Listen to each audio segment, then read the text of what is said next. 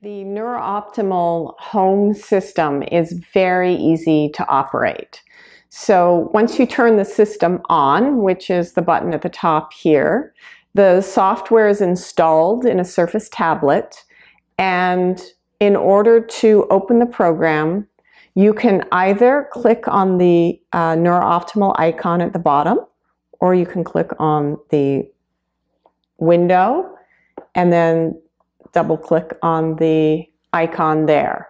The program will open and then the only challenge you have, which is not a difficult challenge with a little bit of practice, is getting the um, sensors on.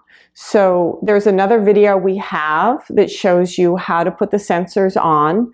But the point I want to make here is that um, the area on the sides of the head where you put the two sensors that are attached here is a very broad area. So you don't have to worry about getting it perfect. It's halfway between the crown of the head and the top of the earlobe.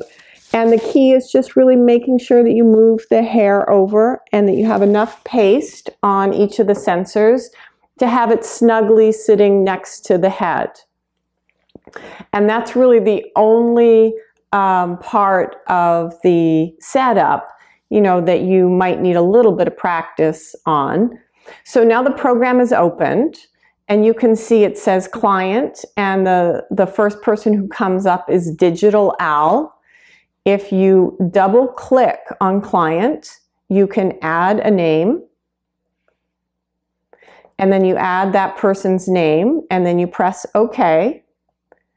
And then that person will show up uh, as the top person on here. And then to start a session, once you have your sensors on, is that you uh, double click on the name. And the session has begun. And we have a manual that comes with your rental. So if you have any questions, um, you can refer to the manual.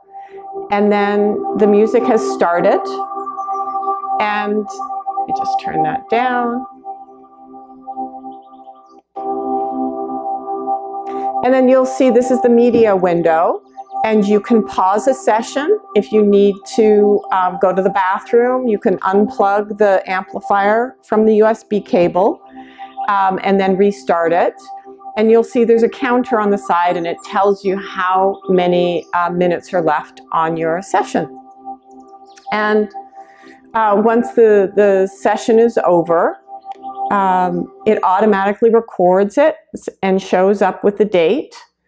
And then to stop the program, all you have to do is click on the X in the uh, upper right corner, and that closes the program. And that's it. You've done your session.